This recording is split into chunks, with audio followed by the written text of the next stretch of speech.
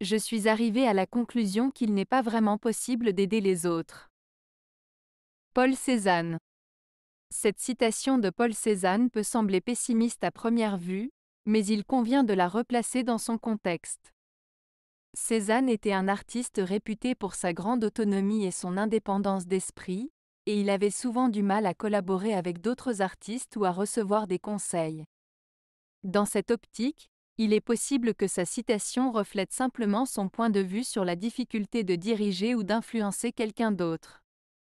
Cependant, si nous réfléchissons au sens plus profond de cette citation, il est aussi possible de voir un certain réalisme.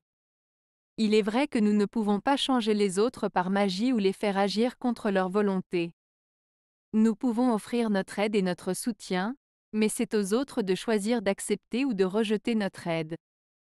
Dans l'ensemble, la citation de Cézanne peut être considérée comme un avertissement de ne pas essayer de changer les autres de force, mais plutôt de les accompagner et de les soutenir dans leur propre processus de changement.